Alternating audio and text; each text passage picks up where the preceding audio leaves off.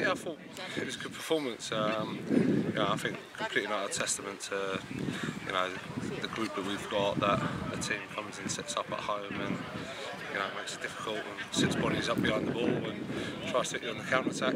Um, you know, that's they slowed everything down from the minute, from the first minute. I think it's 23 minutes. you're looking at it and they're slow to go and take uh, you know throw-ins and stuff like that, and you know waiting for that one opportunity and know, one time we switched off, they get a free header, but I thought didn't create too much other than that.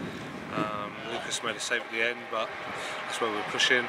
Um, the first goal is massive in a game like that, and you know, if David scores a penalty, it's possibly a different game. But you know, we can't be relying on David Edgemore week in week out to provide a little bit of magic to, to get us out of, um, you know, the mess all the time. Is it's a team game, and you know, that's what I thought got full faith in the squad of players that we got. What's the point of having these players here if, if you don't believe in them? So, you know, that's why I was able to rotate the squad round. And um, yeah, I, I, know that if it doesn't work for you, the question's going to be pointed at you as a manager. But full faith in the, the group of players that we've got, not just the 11 at the start, but the we've got a squad of 20 players and um, got full full faith in them, and you know, it wasn't quite to be. So you know, I don't think um, fans truly realise how hot it is on our pitch. You know, you've got the black rubber there, which adds like 10 degrees to that, that surface. Um, so it's real hard. You know, we've got Ricky because he's got a dead leg, and uh,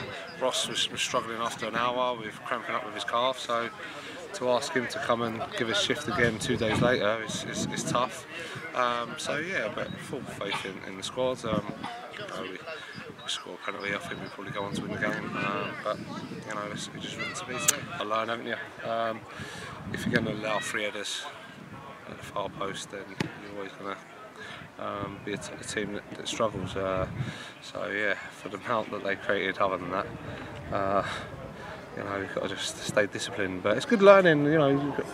I don't know you forget that this group's so young and you know you probably show that naivety at times. They do is 100%, but it's just where we are, where we are as a football club. Um, you know, not what we need. We need some experience, but as a club, we can't um, can't get there just yet. So, um, you know, we've gone with these boys and got full faith in them, and uh, you know, you can't fault the effort and passion and commitment that they've shown in the last two games. Yeah, it's always in my mind, you know, you had that that bench there to, to come on and like try and keep it a bit fresher and go with it for the last 30 minutes. Um, you know, if we started with it, would you have had that same impact? I don't know.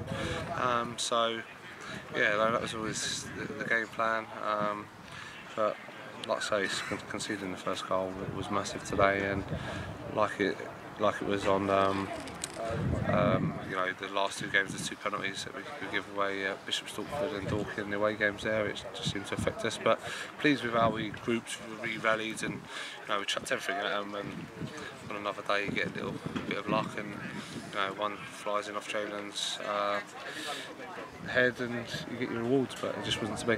Playoffs are still attainable.